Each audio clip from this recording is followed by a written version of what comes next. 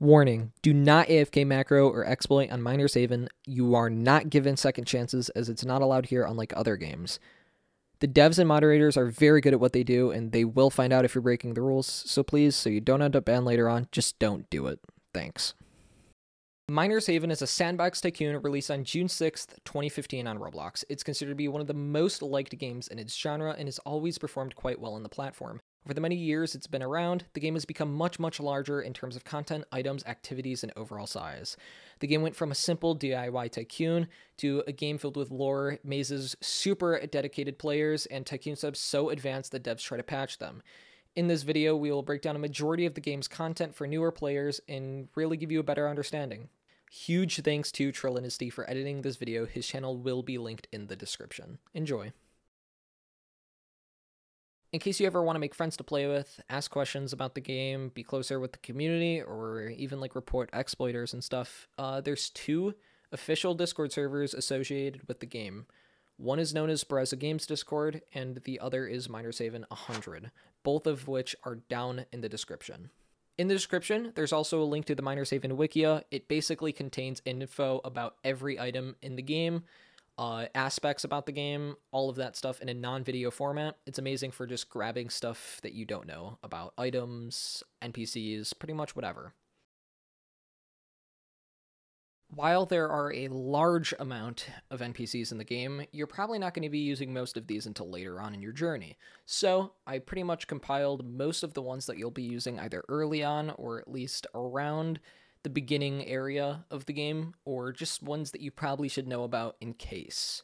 Now, first off, we have Fargield. You could find Fargield over by the bridge on the side of the mountain near the waterfall. You could click on him, and each day when you do this, you get UC boxes or really other types of rewards. You could only use him once a day per slot, so that means up to five times a day if you go on him each slot.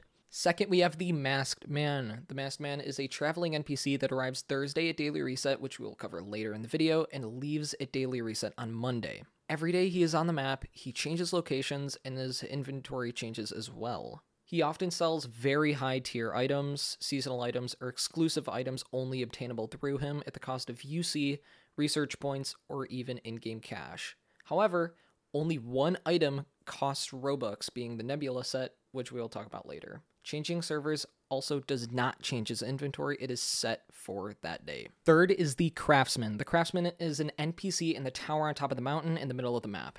He has a variety of actions you could perform while visiting him. You could salvage items for shards of life, merge reborn items into reborn evolutions, fuse reborns together to create reborn fusions, or you could even buy reborn items using shards of life. You could lastly forge enchanted items.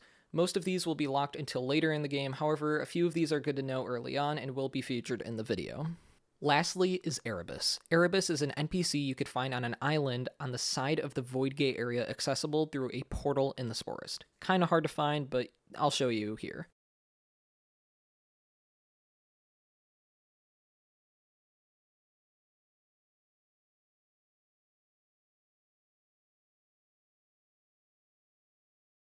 Interacting with this NPC will bring up a series of prompts allowing you to wipe the current save data on the currently active slot.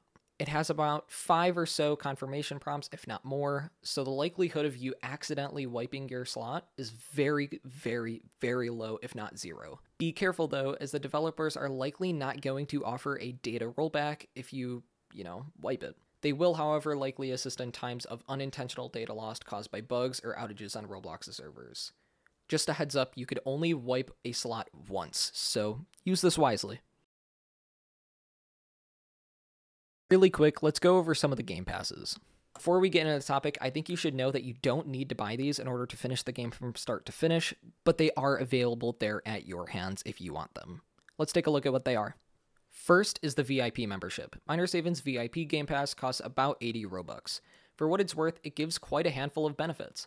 Upon purchasing, you will receive 25 VIP conveyors, a VIP tag in the chat, a free crate in your daily gift of at least gold tier or better, higher regular mystery box chance drop rates in crates, a spawnable doge pet, and increased daily gift luck. While most of these perks will benefit you to early mid game progression, you do get some long term benefits with the boxes and stuff, so it's definitely worth picking up. Next up is the Premium Membership. Miner's Haven's Premium Game Pass costs about 800 Robux and awards the player much greater benefits. Upon purchasing, you will receive a premium tag in chat, 4 times increase in magnificent boxes upon opening on real boxes, 10 UC in daily gift instead of 1, golden particles on your character, complete removal of RP requirements and shop items, and a Rainbow Path Giver. This Game Pass is packed to its limits with benefits, especially the removal of RP requirements, which will save you a ridiculous amount of time later on. The increased drop chance for Magnificent Boxes is also very, very rewarding in late game. Definitely try to pick this one up if you can. Now we have the largest one being the Executive Membership, which costs around 2,450 Robux. Upon purchasing, you will receive an executive tag and chat, two exclusive Fable tier items, one of which is an upgrader and the other is a speed boost infuser. You will also receive a free Inferno box in every daily gift, a free executive crate in daily gifts, which boosts your stats and has a chance to give Inferno boxes and lucky clovers. Also, up to six free UC in your daily gift, which stacks with the previous UC bonuses from other game passes.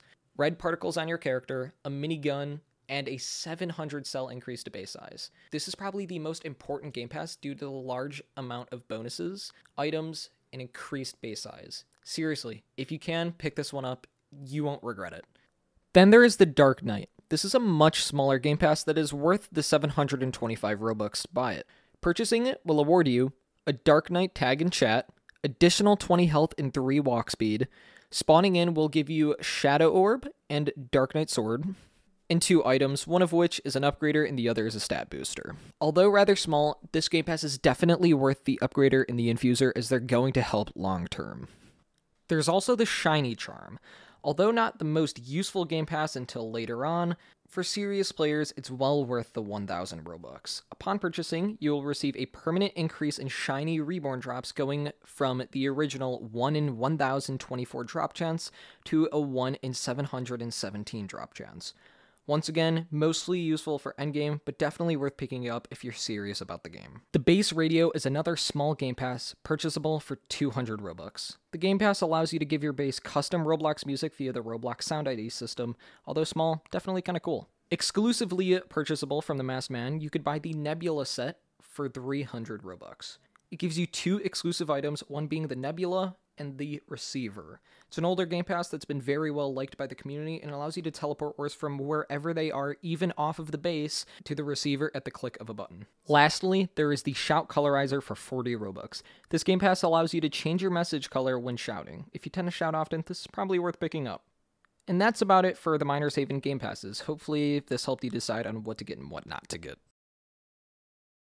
Research points are a secondary currency in Miner's Haven. While only being used occasionally for buying stuff, they're mostly used early on to balance out the rate you progress via the shop. You might have noticed some items cannot be purchased until you have X amount of research points. This system is actually quite respectable, it's, it's not a difficult one to learn. You can farm research points quite easily, actually. In the shop, you'll notice items with the name Research Center or a variation of it. These items are used for farming research points. How they work is rather simple. You put X amount of ores into the center, worth at least X amount of money or more, and in return, you get X amount of research points. It's quite simple, but not the fastest thing ever, sadly. You can speed up the rate you get research points by a huge amount early on. Research crates are definitely the best way to go, in my opinion, at least for getting research points fast. Research crates have tiers normal, Shadow, Gold, Lucky, UC, and Diamond. The higher the crate, you get more research points with the lowest tier, giving you a full blown 400. The better ones give you multiple thousand research points, which is amazing early on, and you also get more loot like boxes and stuff, or even UC or lucky clovers depending on the crate.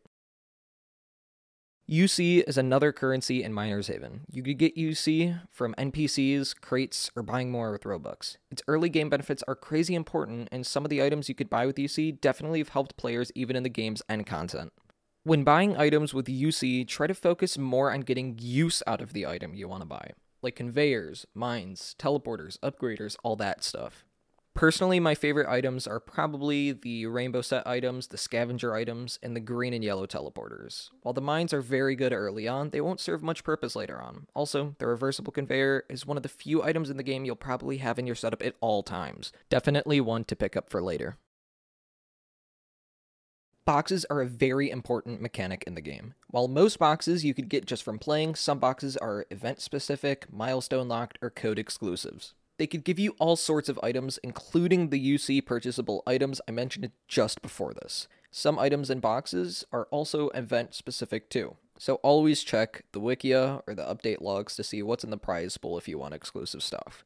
Let's talk about vintages. Vintages are rarer items obtainable in specific boxes. They are mostly there to help you with early to mid game content, but some of them have been used even in late game. Vintages are definitely worth trying to get all of them as they could make your progression speed up a crazy amount. Exotics are also really, really important to the game. Exotics have been coming and going in the game's item economy for years and matter a lot to the player base. They are event exclusive and come around based on the season of the year. These are very, very, very important, even in the endgame content, and almost always have a role in the game.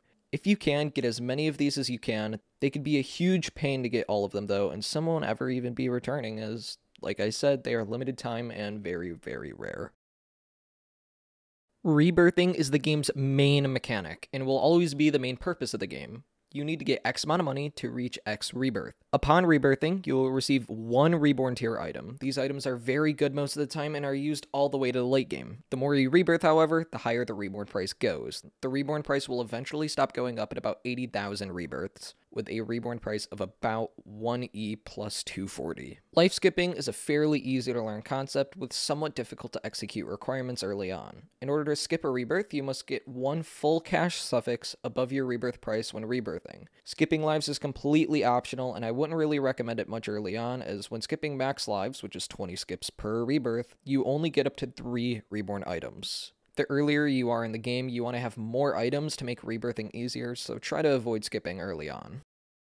As I mentioned in the NPC section of the video, you could evolve reborn items with the craftsman. Evolving a reborn item will require X amount of a specific reborn to craft one evolved version with better stats than the original. I suggest looking at the wikia before crafting evolved reborns, as buying blueprints can be pretty pricey, so make sure you know which one you want to buy, as some are much better than others.